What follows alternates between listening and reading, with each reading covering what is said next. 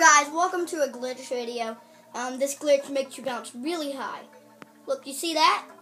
How am I supposed to get up there? I can only bounce that high maximum. And the door is all the way up there to get over there. I'll show you a little glitch. Now, you're going to need to carry something. I recommend a red Koopa shell. Then go on there. No, oh god, no. Now, I want you to put it on the gamepad. Now, sit down. Sit, get down here and put it on the gamepad.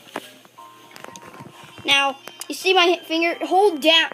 Now, kill the enemy and get the shell.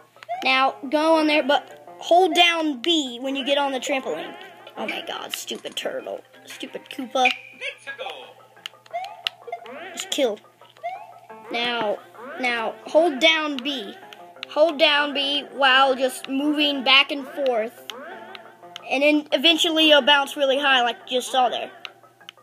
Look, I made it. Now that's today's glitch. I hope you enjoyed. And um, I'll show you a secret Mario Maker code um, later today. And bye.